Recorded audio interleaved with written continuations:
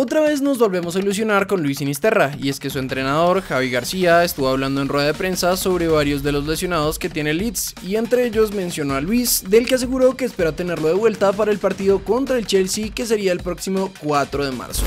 Y a propósito del Chelsea, hoy se enfrentaban al Tottenham de Davinson Sánchez. O bueno, más bien al Tottenham porque Dao sigue sin sumar minutos y aunque su equipo ganó 2-0 se quedó de nuevo en la banca. En Portugal el Porto cayó 2-1 con Mateus Uribe titular, aunque salió expulsado al 52 por doble amarilla, y el Boavista de Seba Pérez ganó 3-1 con el jugador en cancha hasta el 90. Standard Leja con Alzate empató a 2, el Especia con una asistencia de Kevin Agudelo incluida empató a 2 con el Udinese, Boloña de Lucumí le ganó por la mínima Inter y para cerrar en Italia, Muriel estuvo 20 minutos en cancha en la derrota del Atalanta ante el Milan. Ya que hablamos de Atalanta, de otro del que tenemos noticias es de Dubán Zapata, y es que según su entrenador ya ha vuelto a correr y quizá podría estar de vuelta también el 4 de marzo. Ya veremos. En España la cosa volvió a picarse un poco, pues el Almería le ganó por la mínima al Barça con asistencia de Luis Suárez incluida, mientras que en Grecia, Michel, el entrenador de James, dijo esto sobre el regreso del 10. Participó ayer en el entrenamiento, pero luego siguió la lesión individual porque tenía molestias. Mañana veremos si está listo para el AEK. Si está bien, jugará. Pasando con una buena noticia, tras nueve meses fuera, por fin vimos jugar de nuevo a Santiago Arias, que en su debut con el Cincinnati tuvo un rendimiento del 84% según estadísticas, y apunta a quedarse con la titularidad de su equipo que terminó ganando 2 a 1. Para terminar con el resumen de los colombianos por el mundo, Alfredo Morelos volvió al gol con el Rangers en el clásico de Escocia ante el Celtic por la final de la Copa de ese país. Sin embargo, no fue suficiente y terminaron cayendo 2 a 1. Pasando a nuestra liga, Jaguares ayer ganado 2-0 a Pereira, mientras que América le pegaba 1-0 a Envigado con gol de Facundo Suárez.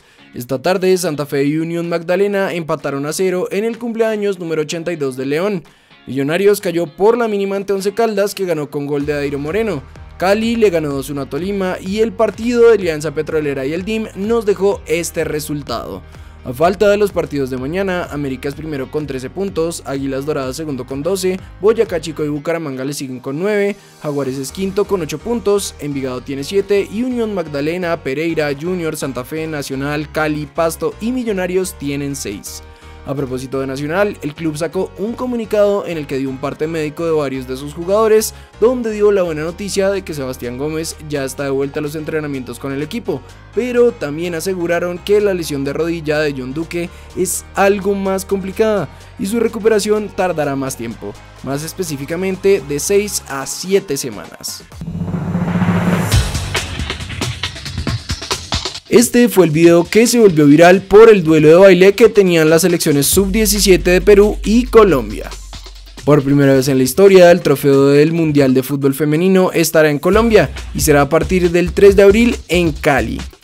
La selección Colombia ya conoce su grupo para el Suramericano Sub-17 y se enfrentarán a Uruguay, Ecuador, Brasil y Chile. Cracks, hasta ahí llegan las noticias de hoy y antes de pasar con el comentario destacado queríamos contarles que mi primo y yo abrimos un servidor de Discord para que se unan, estén pendientes de todas las cosas que nos pasan a nosotros y obviamente pues Cracks Colombia va a estar involucrado pues porque hacemos parte de este proyecto entonces el link se los vamos a dejar fijado en el primer comentario y en la descripción por si quieren pasarse y unirse a nuestro servidor es un grupo selecto pues para las personas más cercanas y fieles a esta comunidad y pues al trabajo que hacemos mi primo y yo también en nuestra parte individual.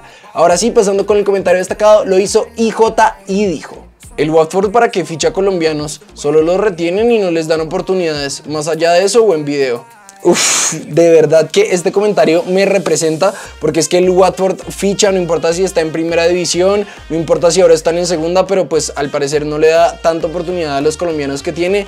Ya vimos que pasó también con el Cucho Hernández, por ejemplo, que lo cedió, lo cedió, lo cedió y jugó más en cualquier otro equipo fuera del Watford y pues ahora ya será Asprilla a pesar de tener buenas actuaciones con el equipo pues no le están dando minutos.